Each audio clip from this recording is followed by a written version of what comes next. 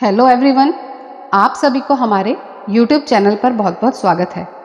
आप सभी को हमारी तरफ़ से बेकुंठ चतुर्दशी की हार्दिक शुभकामनाएँ।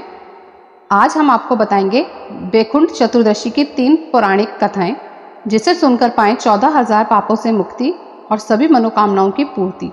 तो अगर आपको हमारी ये वीडियो पसंद आई हो तो वीडियो को लाइक करें, शेयर करें, कमेंट करें। अगर चैनल पर नए हो तो सब्सक्राइब करें और बेल आइकन को प्रेस करें। तो शुरू करते हैं कथा पहली।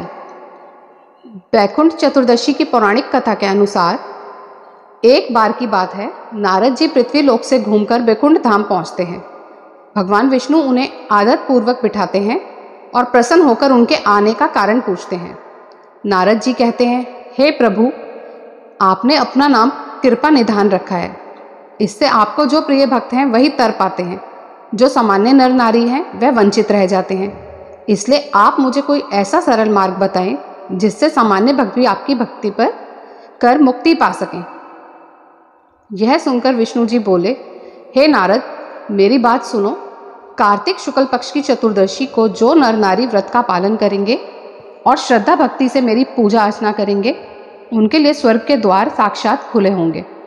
इसके बाद विष्णु जी जय विजय को बुलाते हैं और उन्हें कार्तिक चतुर्दशी को स्वर्ग के द्वार खुला रखने का आदेश देते हैं।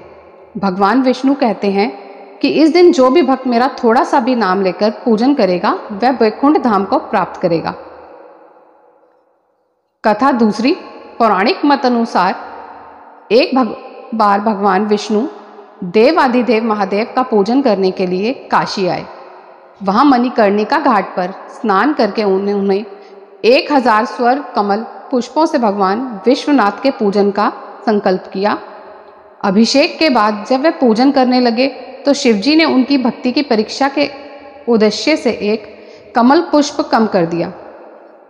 भगवान श्री हरि को पूजन की पूर्ति के लिए एक हज़ार कमल पुष्प चढ़ाने थे। एक पुष्प की कमी देखकर उन्होंने सोचा, मेरी आँखों भी तो कमल के ही समान है।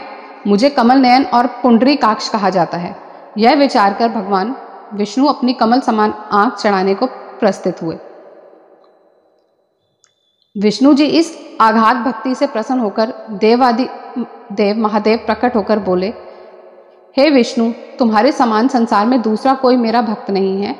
आज की यह कार्तिक शुक्ल चतुर्दशी अब बेकुंठ चतुर्दशी कहलाएगी और इस दिन व्रत पूर्वक जो पहले आपका पूजन करेगा, उसे बेकुंठ लोक की प्राप्ति होगी।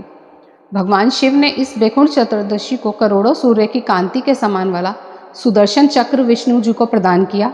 शिव जी तथा विष्णु जी कहते हैं कि इस दिन स्वर्ग के द्वार खुले रह, रहेंगे। मृत्यु लोक में रहने वाला कोई भी व्यक्ति इस व्रत को करता है वह अपना स्थान बैकुंठ धाम में सुनिश्चित करेगा। कथा तीसरी धनेश्वर नामक एक ब्राह्मण था जो बहुत बुरे काम करता था। उसके ऊपर कई पाप थे। एक दिन वो गोदावरी नदी में स्नान के लिए गया। उस दिन बैकुंठ चतुर्दशी थी। कई भक्तजन उस दिन पूजा अर्चना कर गोदावरी घाट पर आए थे। उस भीड़ में धनेश्वर भी उन सभी के साथ था। इस प्रकार उन श्रद्धालु के स्पर्श के कारण धनेश्वर को भी पुण्य मिला। जब उसकी मृत्यु हो गई, तब उसे यमराज लेकर गए और नरक में भेज दिया गया। तब भगवान विष्णु ने कहा, यह बहुत पापी है, पर इसने बैकुंठ चतुर्दशी के दिन गोदावरी स्नान किया और श्रद्धालुओं के पुण्य के कारण इसके सभी पाप नष्ट हो गए। इसलिए इसे बैकुंठ धाम मिलेगा। अतः धनेश्वर को बैकुंठ धाम की प्राप्ति हुई। आज के लिए इतना ही। कथा समाप्त। धन्यवाद।